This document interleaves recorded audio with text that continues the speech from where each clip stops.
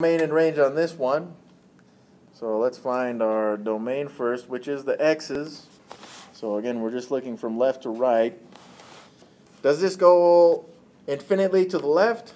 No, negative ten. Yeah, right. So it's looks like it's starting up here at this negative 10. So it's included from negative 10. This will go all the way to infinity. Very good. This one we put arrows on. That's very efficient. What about the range? How far up is this thing going to go? Now those are arrows, right? These will these are going to go up to infinity. Now it, it is curving, so it, it'll get there very slow, but eventually it will. Okay, so it's going to go up to infinity. How far down is it going to go? Yeah, it'll go all the way down to negative infinity. Neither of these are included. There we go.